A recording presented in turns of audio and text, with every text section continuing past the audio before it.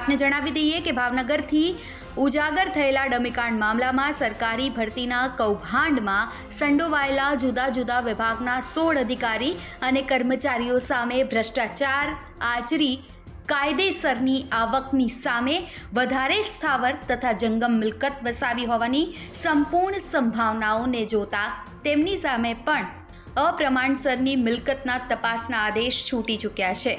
Bureau report, Gujarat તક.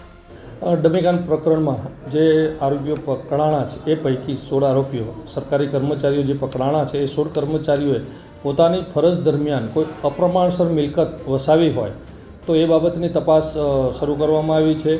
એ તપાસ એની પોતાની ઇન્કમ સિવાય વધારાની કેટલી મિલકત છે, એની તપાસ થશે. અને જો અપ્રમાણસર વધુ તપાસ મળી આવશે, તો એના વિરુદ્ધ બીજી પણ અલગથી કાર્યવાહી કરવામાં આવશે. કુલ સોળ આરોપીઓને તપાસવામાં આવ્યા છે. એમાં આજે દસ આરોપીઓને એની પાસેથી શું શું મિલકત છે એ બાબતના નિવેદનો લેવામાં આવ્યા છે.